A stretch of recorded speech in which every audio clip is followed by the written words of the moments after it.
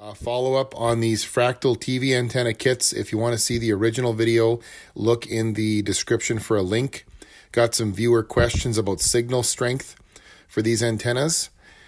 I made two antennas, one with the elements oriented in a vertical fashion as suggested in the instructions, and another one with the elements oriented in a horizontal fashion, which I believe will be more suitable for my area since all of the channels broadcast on VHF.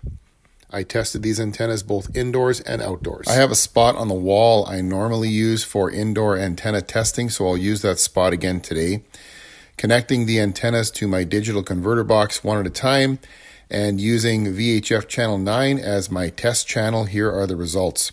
The vertical antenna had a signal strength that hung around the mid 60s for the most part. There was a bit of fluctuation, a low of 56 and a high of 67.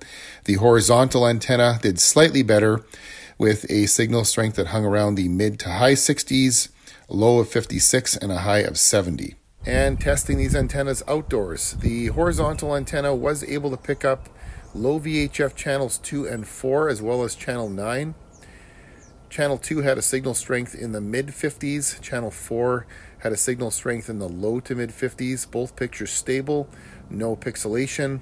And channel 9 had a signal strength in the mid 60s. That was a little lower than I expected it to be. The vertical antenna was still only able to pick up the one channel, VHF channel 9, with a signal strength in the mid 50s. That's a lot lower than I thought it would be for an outdoor signal. That was even lower than the indoor signal, so not sure what happened there. So that's a look at the signal strength tests on these fractal TV antennas in my area.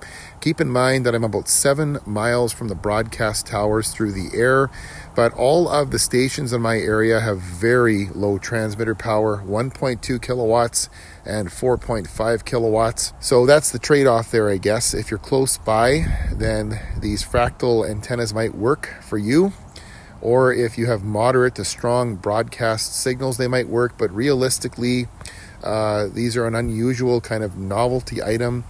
They're not a substitute for a good quality, properly installed outdoor antenna.